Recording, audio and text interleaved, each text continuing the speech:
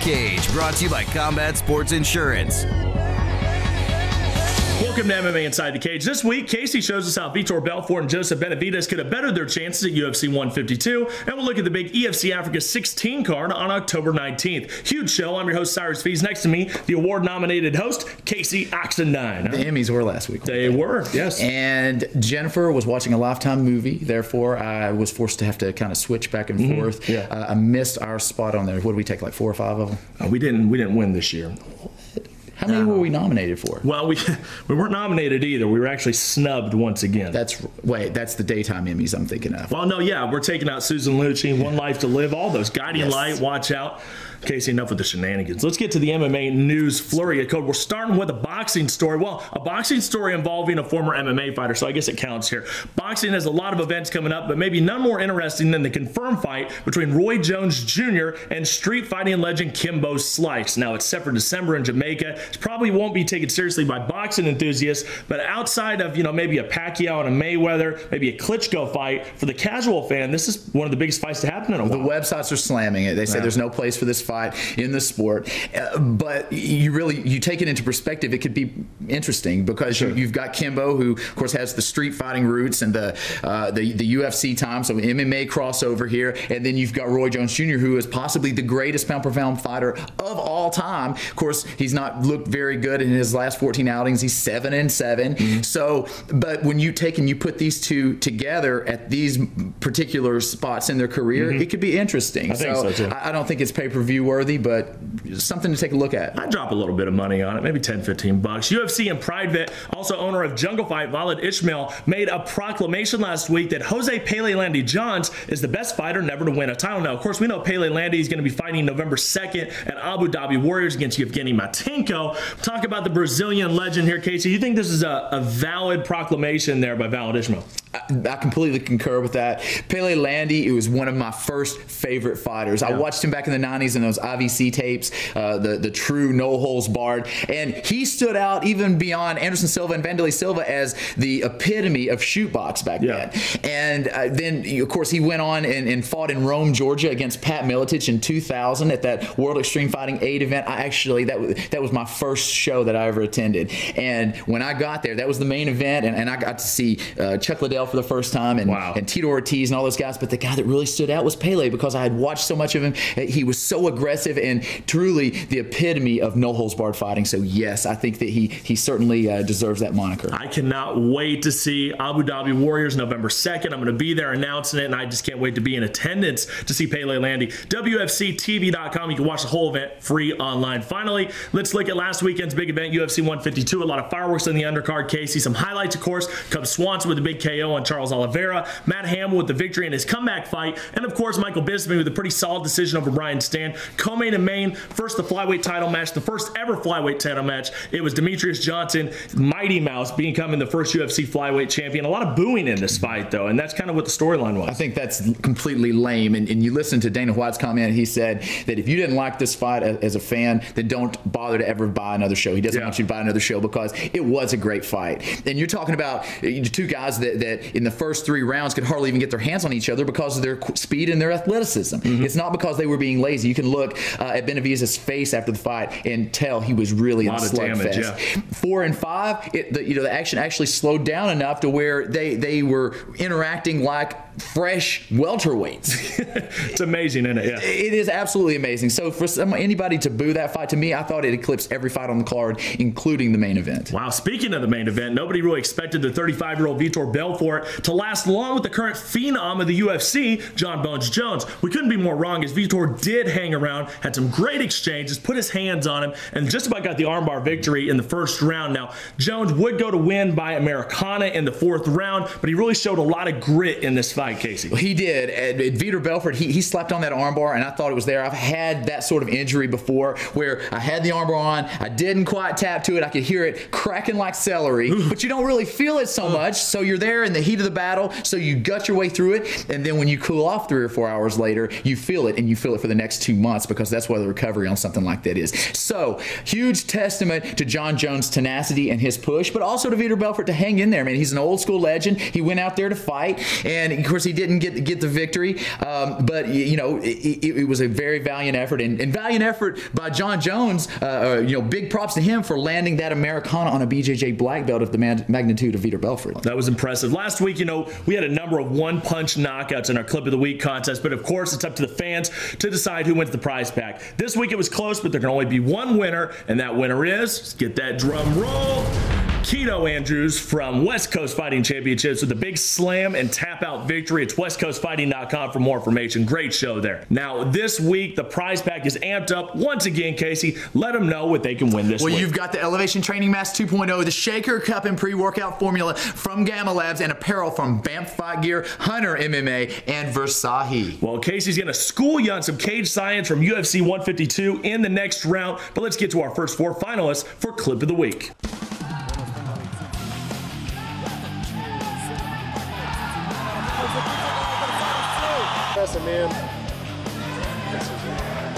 This is some serious heart, though, from Clinton Childers. Oh, is he? Is he still? He's out.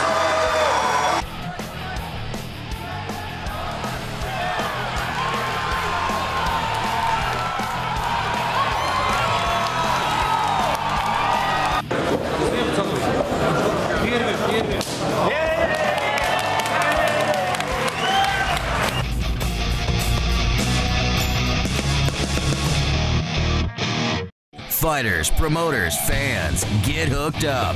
Send us your best knockouts and submissions by going to MMAInsideTheCageTV.com and clicking Get On Air.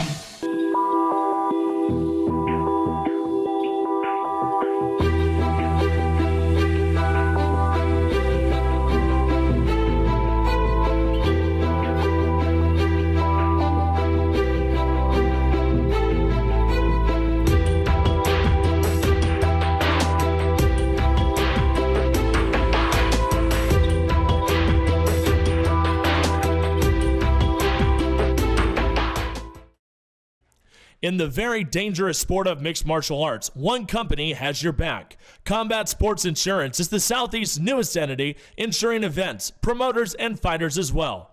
Owner Jeremy Augusta, an area leader in insurance for the past decade and current MMA fighter for Team Oxendine, is focused on bringing the best coverage to your event and your fighters.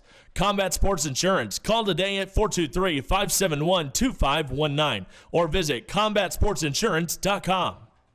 The most spectacular event is coming to Abu Dhabi. Be part of the premier fight sport event in Abu Dhabi. Abu Dhabi Warriors.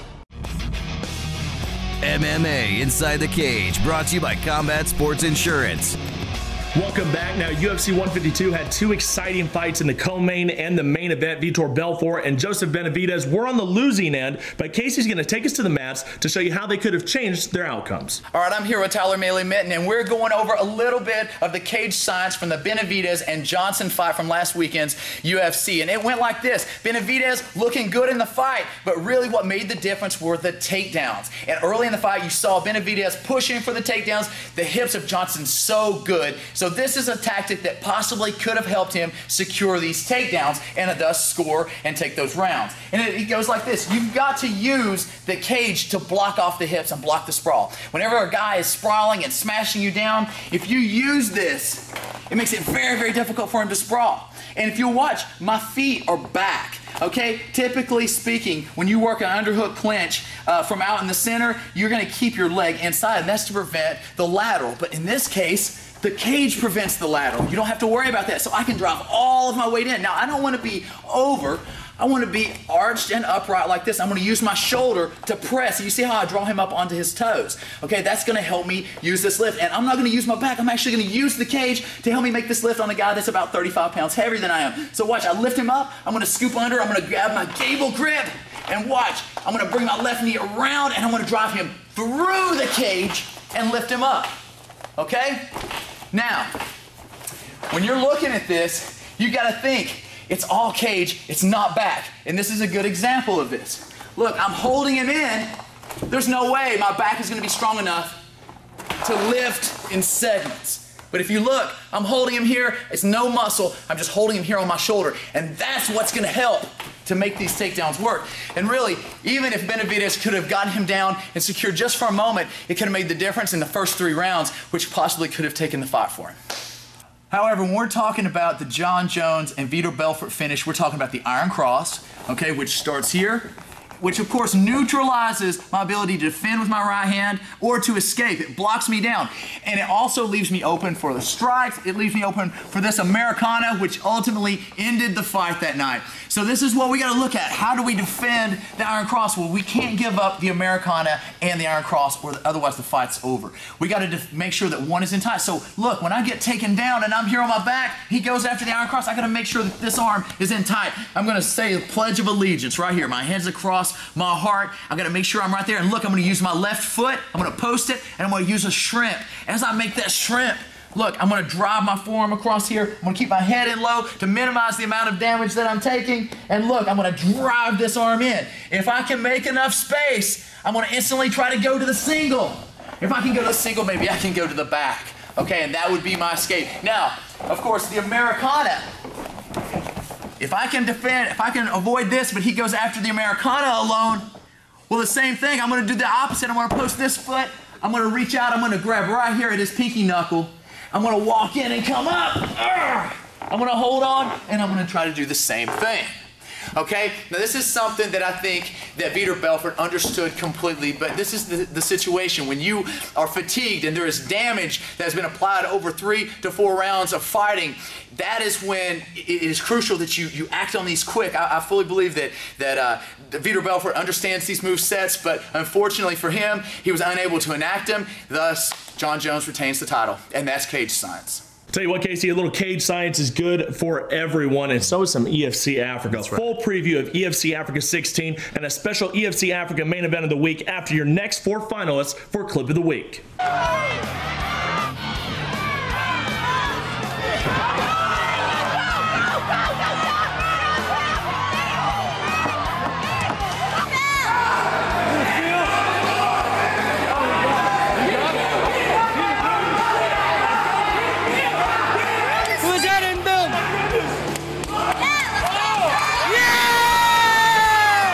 Start hurting, even though these are big guys. Those don't. A little don't extra padding. Oh, yeah. oh! Big overhand right, and he is stuck.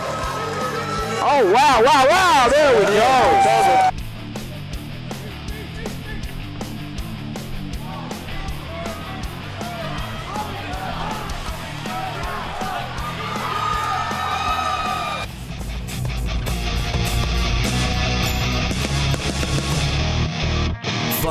Promoters, fans, get hooked up. Send us your best knockouts and submissions by going to MMAInsideTheCageTV.com and clicking Get On Air. Coming soon, a mixed martial arts spectacle, the like of which the Middle East has never seen. The Abu Dhabi Warriors are coming. There will be knockouts, submissions, and more bone crushing than you can handle. Buckle up, funsters. Don't blink. Abu Dhabi Warriors 1 comes to you live from the ADNEC Exhibition Center on November 2nd at 7 p.m. local time. Be there. I think for my son, he could have collapsed many times. I'm looking to be a young champion. I feel like I'm ready for the top. If he says he's going to be the middleweight champ, I believe him. You know, very directed with his goals, very good family guy, very serious, my daughter's my biggest fan, and uh, no one could argue with that. You know, I'm betting on Chris 100%. I just don't see anyone stopping him. I'm confident. I know I can beat him, and I just want the shot now. MMA Inside the Cage, brought to you by Combat Sports Insurance. And it's third round action. Time to impress those judges once again. One thing you can count on every couple months is that EFC Africa is putting on another great event in South Africa. Now that they are hooked up with our home at Fight Now TV, that means even more EFC for the U.S. audience. Casey, it's great. I love the EFC. I always sing the praises whenever we uh, see a new show come out. They always astound me. These guys are very, very exciting. All the fighters, uh, all the competition is good. They do bring a little bit of outside um, uh, talent in and for the most part, it's these South African guys, and these guys are really growing everything from the grassroots up, and it's excellent. Hey, there's a reason why the UFC is trying to head down there as we speak. Well, this event looks pretty impressive on paper. Obviously, three big title fights on this one, but even on the undercard, some great heavyweight action, which everybody loves to see. Andrew Van Zyl taking on Ian Visser, and Ricky Michaela is taking on Tiny Strauss, who is certainly not tiny. Well, of course, Van Zyl, this guy is always in the title hunt. Very, very tough competitor there for EFC. And then Tiny, that that's a that that is a, A monster of a man. Yeah, a huge behemoth. guy, and we're going to see him in in the heavyweight division. Very, very uh, popular fan favorite down there. He's looking to get his first win. We're going to see what happens there. And then, of course, you look at these three title fights, a triple main event, if you will. It'll be 145 champ DeMarte Pena defending against Terrence Greasel, who had to step in for the injured Wenzel Nell, though. That Wenzel Nell fight was going to be huge. Mm-hmm. Greasel's definitely going to have his work cut out for him dealing with DeMarte Pena. Pena is incredible. He's 4 0. He is the champion. And this is a guy who, who just choked out Hawkey Yeah. in his last outing. So, it, it, you know, huge things for this guy. He is on a roll, and I think he's going to continue that roll with this fight. I think so too. For the welterweight strap, it's champion Jadyson Costa making his first title defense against a man on a huge winning streak, a big fan favorite. He's the welterweight dark horse, Michiel Opperman. This is going to be a fight for the ages. What can I say about Opperman? This is a guy that's on an eight fight winning streak, uh, undefeated in the EFC, and is really, really making a push for this belt. But, you know, Costa, he's not going to go down easy. Of course, after defeating uh, Dallas Jacoby, he set himself as the EFC anti hero. And it really, it- you, you saw the, the crowd voice their disapproval for this guy, but it makes it all so much sweeter when you see this guy step into the cage. I think it's going to be great. And then finally, how about the main event? A heavyweight showdown. Title on the line as Ruan Fangs Potts will be defending his title against a monster of a man, Bernardo Mikixi. He's called the Black Panther. He's been on a tear, but is he champion caliber? That's the question. This guy is on a two fight winning streak. It's his turn. Now, he did lose to Wessels and Van Zyl, Mm-hmm. okay, in, in the past. Uh, two guys that, that uh, uh, Ruan Potts has disposed of uh, pr- pretty uh, handily. Mm-hmm. But it just still, yet it's this guy's turn. Mikixi is a very, very tough guy, and I think it's going to be a great fight. Oh, I think the fans are going to love that one. I cannot wait for this event to go down. It's Friday, October 19th. And yes, you can watch it on Fight Now TV here in the U.S. For more information, go check out E EFCAfrica.com and FightNow.com on how to watch. Our main event comes from EFC Africa. It's one of Michiel Opperman's greatest hits, and it's our MMA Inside the Cage main event of the week. Wow. Cut the tension there with a knife, man. Here we go. And starting in the blue trunks, Opperman in the black. This is going to be ferocious stuff. Martin immediately Oh, pushing, knee. uh, pushing Michiel back. Michiel working at knee. Michiel's very, very comfortable in the clinch as well. Double underhooks for Michiel. Nice knee landing in the clinch. Nice knee landed to the body of Martin. Another knee finds the ribs. knee- Another big knee by Michiel. This time Martin puts him down. Whoa! Tried to. Tried to, and he let go of it. Michiel's got a big guillotine choke. And Martin picks him up, slams him down, tries to move to the side. Looks like his color's coming back. That was very, very tight for a second. Michiel's now got half guard. Martin gets his head out. Lands a shot. Opperman loves the ground. He's already trying to set up for that triangle. That right leg is already very, very high up. Martin now tries to stack Michiel. Lands a shot to the body. Martin's now got both of his hooks in. It's been a fascinating fight. They're two highly skilled landing, athletes. Landing some shots, landing some shots. He's on Michiel's back. This is a dangerous, dangerous spot for Michiel to be in. Michiel doing well, gets out. He wants to spin around and fall into Van Staden's guard. The cheeky right hand finds its way through the defense of Van Staden. Staden still got his back. Michiel doing very, very well. Nearly back to his feature. here. Staden landing a shot and again goes straight for a takedown. Oh, good Puts power. Michiel down again. Michiel on his back, very dangerous. Now he's got full guard. From here he can fire up submissions, but so far Staden has done incredibly well to avoid anything serious. Slam him land one of those big fists of his. We've always said Martin Staden really does ground and pound like an angry child. Moves over to side control, now tries to get Mount, got knee on the belly. Oh my nice goodness. big elbow landed by Staden. Michiel nearly got over the top there. Got onto his back, puts in a guillotine oh, choke. That is Oh, very, very, is very trouble. deep. This is trouble for That's Van very, very deep. He is Big dragging it. trouble. Van Staden picks him up again. Oh, he's got that in deep. There it is! Michiel Opperman. Too good for Van Staden. Oh, Ladies and gentlemen. Referee Arnu Pinar stops this bout. Four minutes and 18 seconds into round number one. To the winner by tap out due to a guillotine, Michiel Opperman.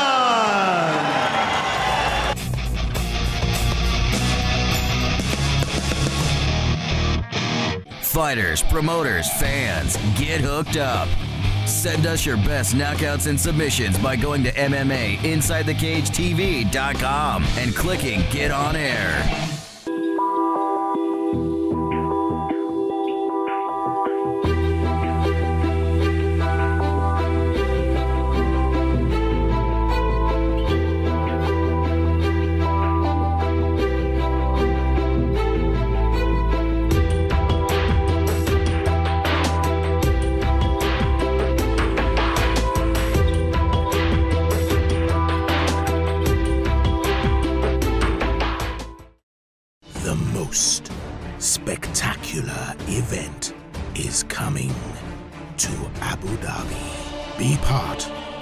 Premier fight sport event in Abu Dhabi. Abu Dhabi Warriors. MMA Inside the Cage, brought to you by Combat Sports Insurance. Well, it's almost time to close this episode out, but before we do, it's your last four finalists for Clip of the Week. Let's go, Lansing. Who do you like?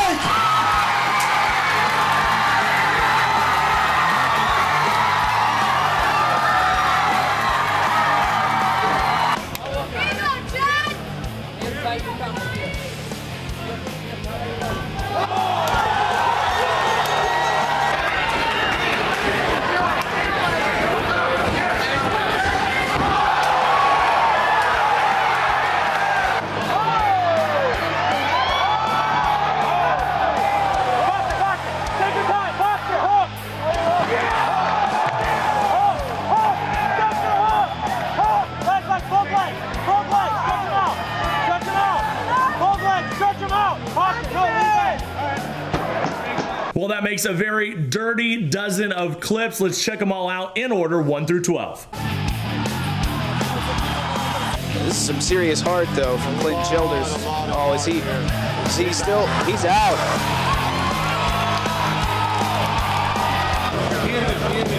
Who's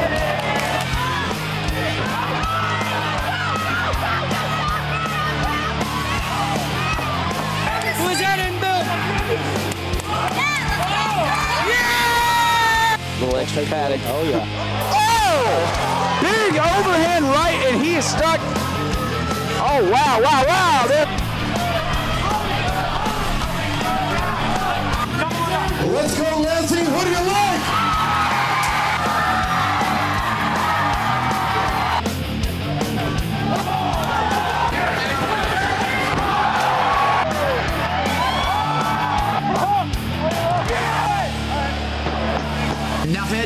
To MMAInsideTheCageTV.com and cast your vote for Clip of the Week. Remember, the winner takes home a huge prize pack from Elevation Training Mask, Gamma Labs, Bamf Fight Gear, Hunter MMA, and Versace. Wow. Find us on Facebook, follow us at MMAITC on Twitter, and subscribe on YouTube for exclusive video. I'm Cyrus Fees. I'm Casey Oxendine. We'll see you next week Inside the Cage.